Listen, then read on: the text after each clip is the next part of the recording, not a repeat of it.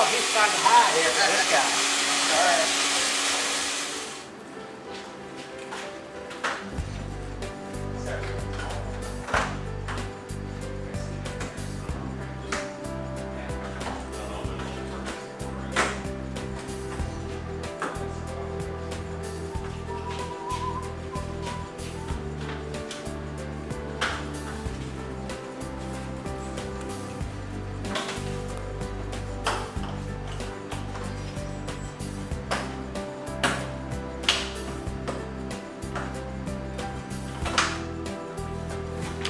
So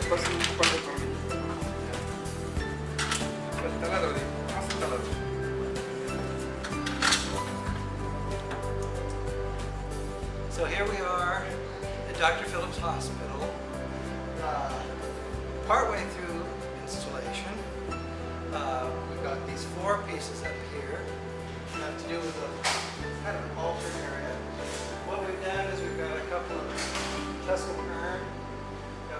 great spoonbill, two herons, a great white heron, great blue heron, and this creates an entire scene with a single horizontal um, depiction of Florida. These will eventually be backlit 24 hours a day.